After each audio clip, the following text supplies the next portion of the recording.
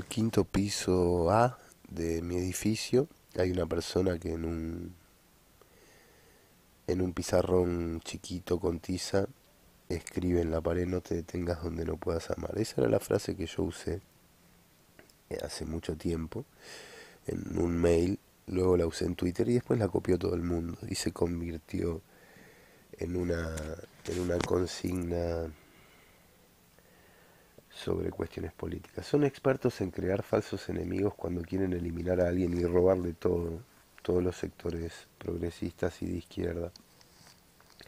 Son expertos en esas actividades, son expertos en instalar operaciones y difundir operaciones eh, a través de sectores militantes en distintos lugares. Después, eh, cuando ven que no tienen, que no aglutinan una mayoría sin boicotear, crean un nuevo boicot tratando de decir, instalan difamaciones y tratan de torcer la opinión pública de alguien. Después dicen que no, que es mentira, que no había apoyo juvenil hacia mí, pero son ellos que cada vez que ven el apoyo eh, ejercen una tergiversación y una acción de boicot. Se vio muy claro en estos meses cuando yo estaba dando una pelea puntual había una situación de una situación coincidente con mis ideas y demás y los chabones se empezaron a ensuciar, a embarrar la cancha y a tergiversarlo. Y lo hicieron siempre del mismo modo, metiendo eh, la cuestión sobre vulnerar la identidad sexual de las personas, tratando de hacer de cuenta que una persona es gay o metiendo transexuales cuando en realidad uno ha tenido solamente novias mujeres y haciendo todas esas acciones que hacen a propósito, demostrando que en el preciso momento cuando hablan de los derechos de los jóvenes y de la sexualidad, ellos ejercen una vulneración de dichos derechos no solo a los jóvenes, sino también a los adultos, cuando instalan en la opinión pública condicionantes para que no haya apoyo ni defensa de quien presenta una pelea argumental que ellos quieren copiar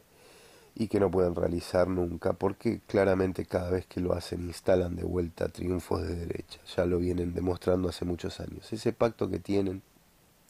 donde aparece gente de Levita, gente de Donda, gente de Nuevo Encuentro, gente de, del FIT,